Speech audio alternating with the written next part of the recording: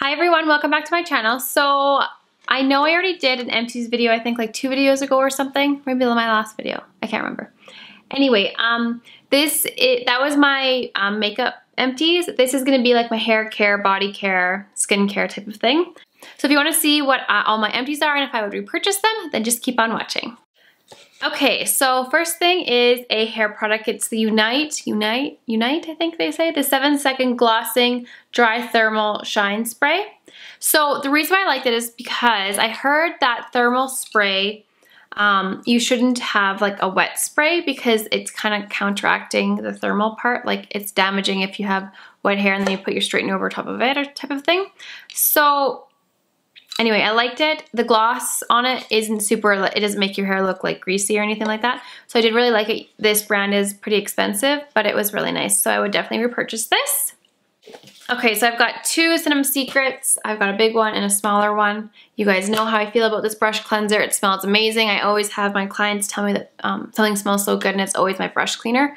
Um, but anyway, so definitely recommend this. Best brush cleaner I've ever used. So a hair product, uh, the Briogeo Scalp Revival Charcoal and Coconut Oil Micro Exfoliating Shampoo. First things first is the smell of the shampoo is so good. It's like minty, but like the best minty smell in the world. It's like, so excited because I saw Tati talk about it and how it helped her scalp and blah, blah, blah. And I have psoriasis on my scalp. So I was like, oh, this will like help me. She like raves about it it didn't really do anything. Like the little exfoliators aren't harsh enough to really exfoliate your scalp. So I didn't find it helped.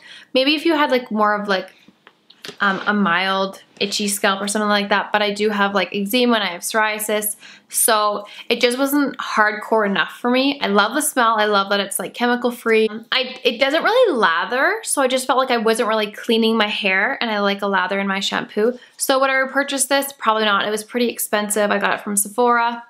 I'll probably pass and I'll get something else. Okay, so I've got two self-tanners. This is like my ride or die self-tanner. It's the Saint Tropez um, Advanced One Hour Tan. So it's a one hour light tan, two hours medium tan, three hours dark. I always left it on for three hours. It's a great self-tanner. Um, there's a color guide and color guard or whatever you call it in there so you know where you're applying it so it looks darker and then you wash it off and um, it goes to a really nice color.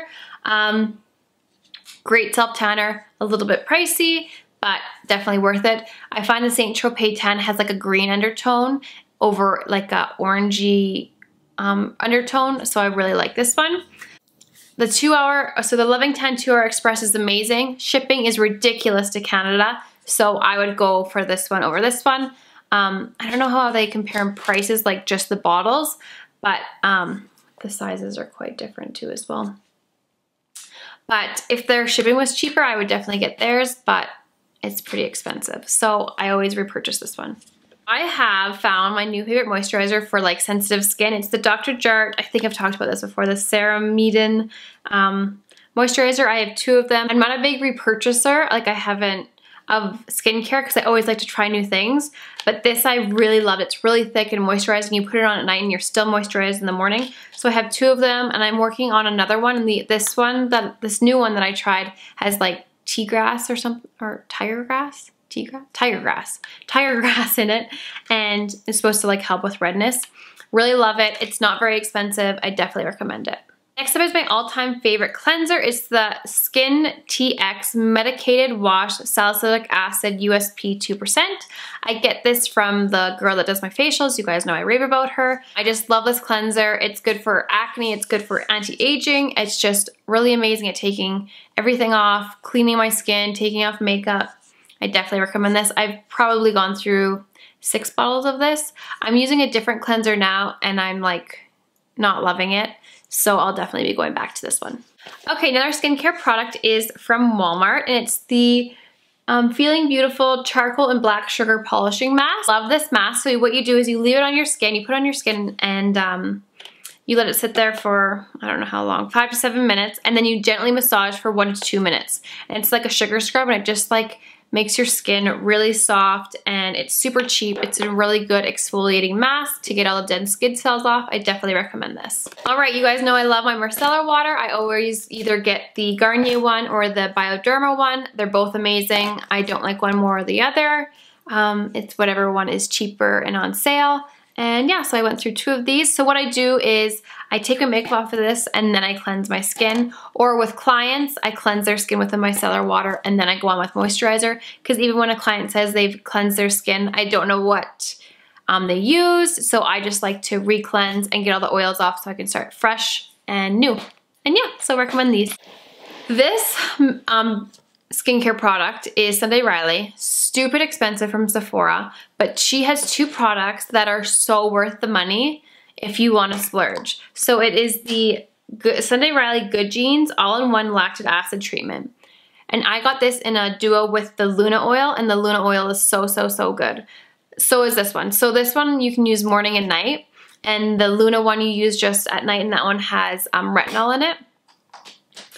This makes the hugest difference, gets rid of any texture, um, even though your skin tone, it just makes your skin look so beautiful, but it is so expensive.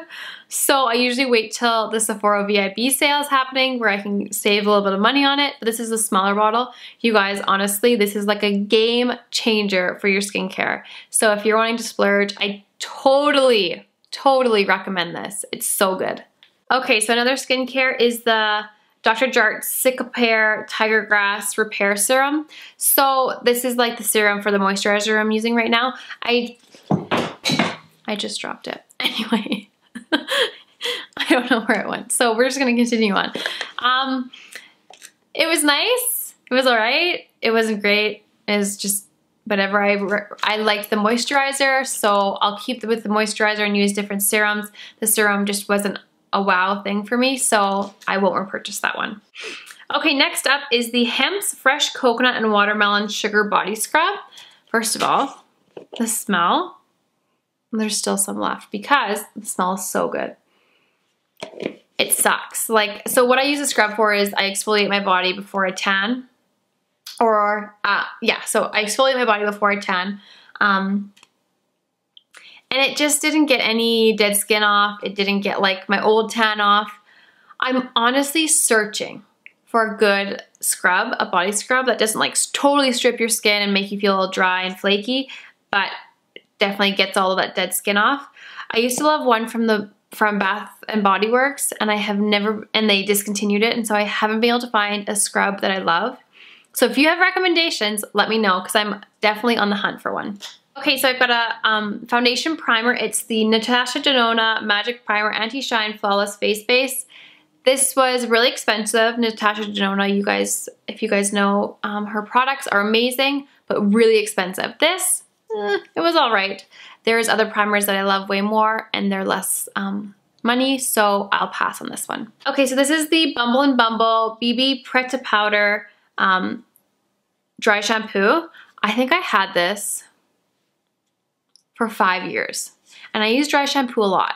So like I did have other dry shampoos, but I use this a ton and I just finished it. You only need a tiny, tiny little bit.